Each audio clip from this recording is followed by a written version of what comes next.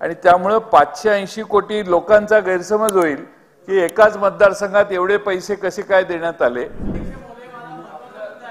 हात वर केलेला पॉइंट ऑफ इन्फॉर्मेशन मांडायचा आहे.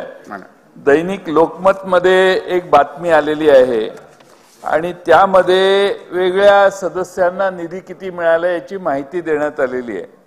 त्याच्यात माझ्या नावासमोर जयंत पाटील वाळवा पाचशे ऐंशी कोटी रुपये आहेत. अध्यक्ष महोदय असं काही झालेलं नाही. असे काही पैसे माझ्या मतदारसंघात मिळालेले नाहीत. असे पैसे मागण्याचं पत्रही मी कुणाला दिलेलं नाही. आणि त्यामुळे अध्यक्ष महोदय हा गैरसमज आहे.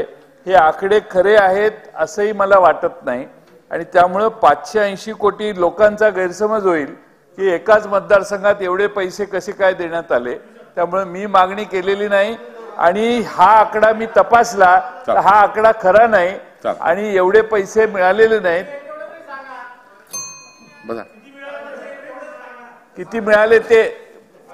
चला चला बसून किती बोलू नका. किती मिळाले ते? साधारणपणाने वीस का बावीस कोटी काहीतरी आहेत. आणि ते ते अध्यक्ष महोदय जे आहेत पाचशे ऐंशी कोटी कुठे? आणि मिळालेले निधी?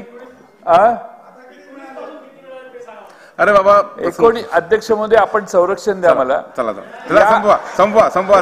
जयंत साहेब म्हणून माझा मुद्दा एवढाच आहे.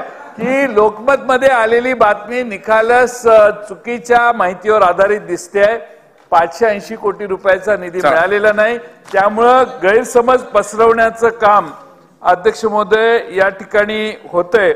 आणि त्यामुळं या ठिकाणी कोणत्याही प्रकारे व्हाईट बुक मी तपासलं कोणतेही निधी मिळालेले नाहीत.